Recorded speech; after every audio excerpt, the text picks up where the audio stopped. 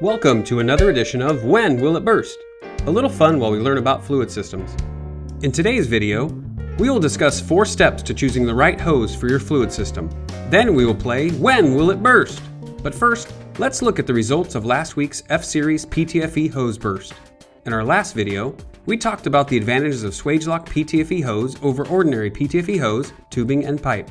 Then we installed Swagelok F-Series PTFE hose into our burst chamber and began to pump. No matter how many times we tried, the Swagelok hose end connections held to the burst pressure of the hose. And the winner of When Will It Burst PTFE hose is Jesse N. of Santa Clara, California. Now, here are four key steps to choosing the right hose for your fluid system. You will notice that we select the hose from the inside out. Step 1. Select the hose core tube material. This is the wetted inner core of the hose that provides media containment. Consider these important factors chemical compatibility, temperature range, permeability, and cleanability. Common core tube materials include metal, silicone, nylon, fluoropolymers like PTFE and PFA, and various rubbers.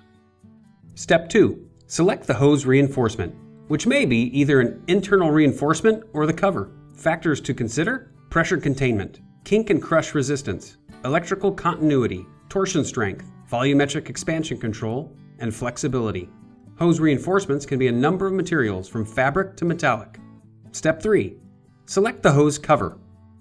The hose cover protects against permeation, abrasion, kinking, and temperature, and it can enhance UV resistance and flexibility. These options may be integral to the hose or an added accessory. Common cover options include armor guard, spiral guard, fire jacket, thermosleeve, silicone, and stainless steel overbraid. Step 4. Select the end connections for the hose.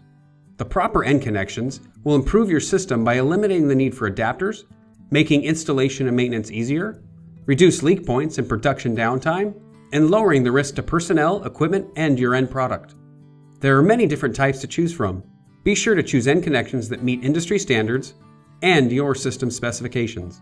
In today's video, We'll be bursting half-inch Swagelok X-Series PTFE hose. It is constructed of a smooth-bore PTFE core tube with Swagelok's unique non-metallic fiber braid reinforcement technology that supports the core to resist kinking and increase its flexibility. In addition, it has a 304 stainless steel overbraid that protects the core from abrasion and enhances the hose's pressure rating and flexibility. It is commonly used in applications where enhanced flexibility and chemical compatibility are desired. According to the Swagelok Hose and Flexible Tubing Catalog, this hose has a working pressure of 1800 psig and a burst pressure of 7200 psig. Now that you know that important information, you're ready to guess when will it burst? Enter your guess at swagelok.com forward slash when will it burst.